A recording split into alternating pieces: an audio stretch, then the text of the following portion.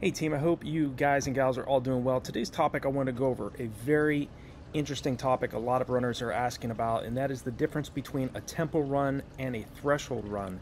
Now I know every athlete, every coach has their own viewpoint of this, and my answer to the difference between tempo running and threshold running, a lot of times we think they're the same, and they are somewhat close, but a tempo run is slightly below running at your anaerobic threshold. So tempo running is still very it's it's a comfortably hard effort. A tempo run is definitely going to still challenge you and it's and it's running at a higher percentage of your max heart rate, getting closer to around 85% of your max heart rate, whereas a threshold run is running at the point where you start to build up lactic acid in in your body and and getting to a point where you're running it at a, at between 88 to around 92% of your maximum heart rate.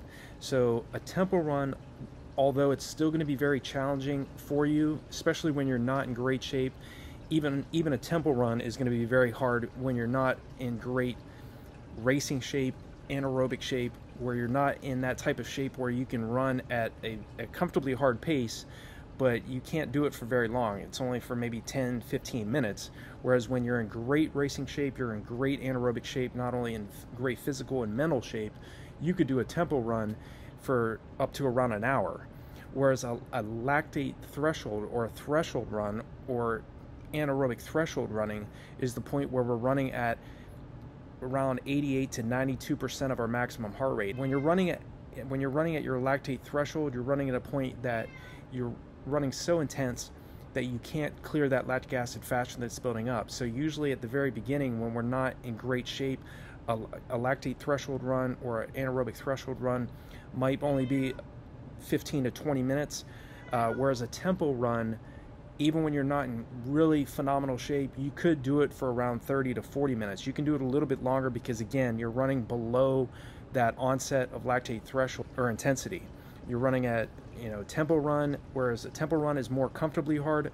A lactate threshold run or anaerobic threshold running is going to challenge you much more in terms of your physiology, in terms of your mental state. You're really going to be challenged when you're running at lactate threshold effort versus tempo run effort. Tempo runs are still going to be challenging.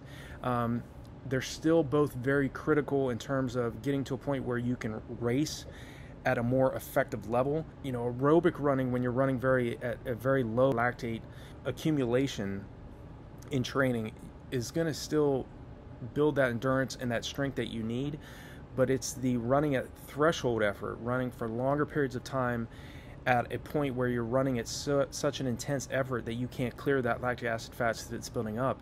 The only way to improve that and improve your body's lactate tolerance is to run for longer periods of time at your tempo as well as your lactate threshold intensity.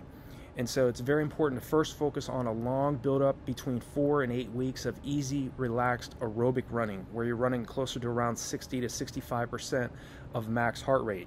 You're able to run for several minutes, even several hours uh, at very easy aerobic efforts.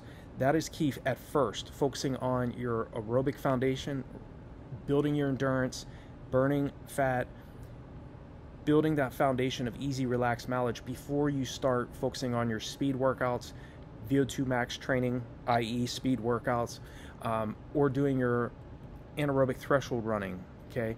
Now, I always talk about the world's top middle to long distance runners run around 35 to 40 percent of their weekly volume between around 88 to 80 to 92 percent of their maximum heart rate. So again, they're making it look easy for a reason. It's not just because they have great genetic talent. Of course, there are a lot of runners out there that do have a phenomenal capability to run at very high speeds and run for very long periods of time and accumulate just a small amount of lactic acid.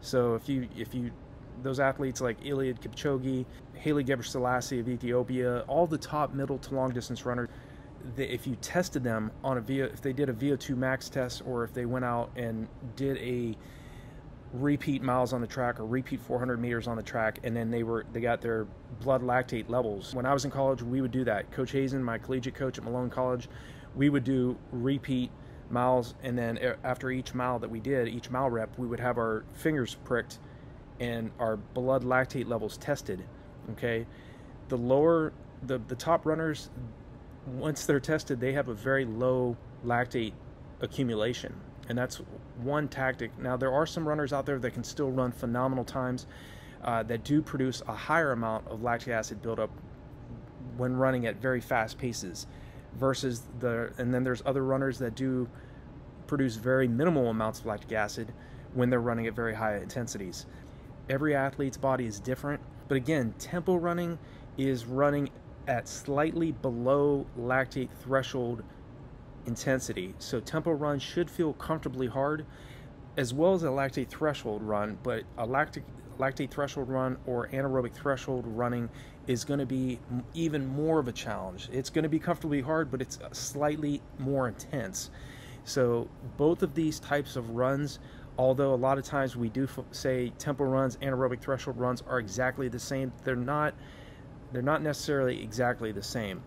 A tempo run is slightly below threshold effort, whereas a lactate threshold run i.e. anaerobic threshold run, is running closer to around 90 to slightly above 90% of your maximum heart rate. So, yes, it is comfortably hard, but it is going to be even more taxing on the athlete to go out there and do a threshold run versus a tempo run. A tempo run, you still could do a tempo run depending on your fitness level for uh, several miles, several kilometers whereas a lactate threshold run will be a much more physiological and mental task versus a tempo run.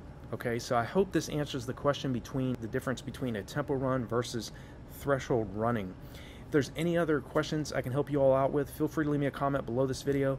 Definitely check out the resources as well. Below all my videos are there to help you out, help you get to the next level in your training and racing. If you're new to the channel, click that subscribe button and the bell icon so when I make a new video, you'll be notified of it.